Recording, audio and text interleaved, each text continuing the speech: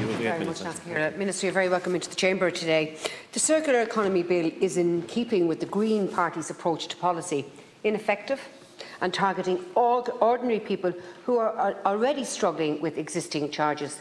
In theory, this bill aims to support Ireland's transition to a circular economy.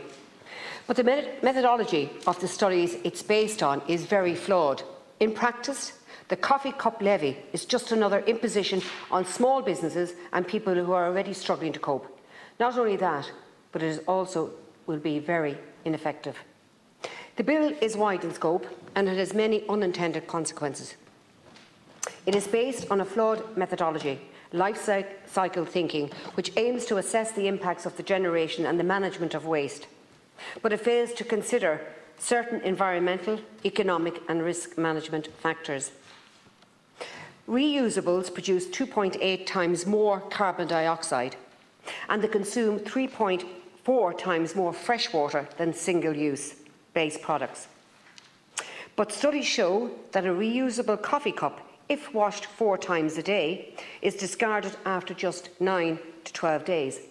I myself don't know how many uh, reusable coffee cups I've had over my period, but I certainly don't know where any of them are today. It too has a very short life cycle.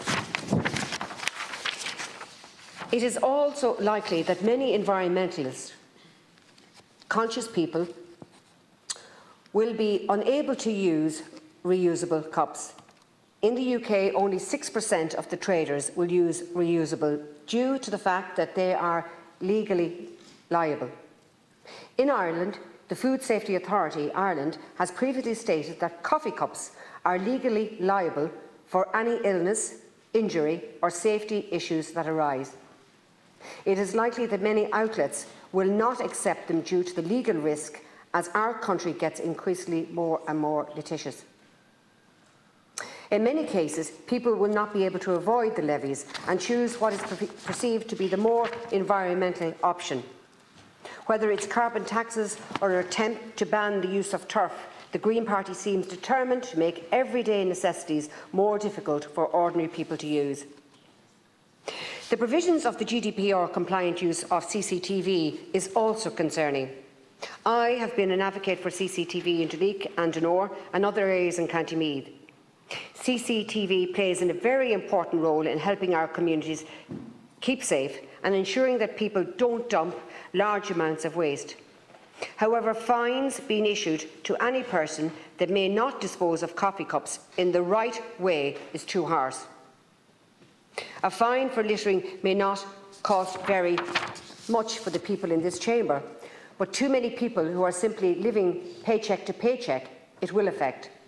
It has the potential to cause major upheaval, particularly at a time when so many of our citizens are struggling to pay. As a senator and a former county councillor, and as a volunteer, I volunteer every single Saturday in my town with regard to Tidy Towns. I'm regularly seen picking up rubbish, sometimes in my high heels. I see very few coffee cups. The focus on coffee cups is misguided. I see more plastic bottles on the ground than any other item. Put a tax on those. Takeaway boxes are also one of the main causes of litter. They also pose a threat and a hazard to local residents because they attract wildlife. By all means, put a tax on takeaway boxes. Based on my own experience of looking after the community, these two waste objects should really be our main focus. Granted, there are some sensible amendments. An amendment was proposed to introduce a fixed penalty notice in relation to breaches of the waste facility permit. An amendment was also uh, proposed to provide for the establishment of GDPR-compliant register of households without a waste collection service. I'm not opposed to any of these propo uh, proposals. I do recognise the need for proper waste management. However, I would urge the Government to explore other measures and don't squeeze ordinary people further at a time when significant percentages of our population is already struggling with energy poverty. Thank you very much. And I'm sorry, Minister, I won't be here to listen to your reply, but I will listen to you uh, attentively on the recording.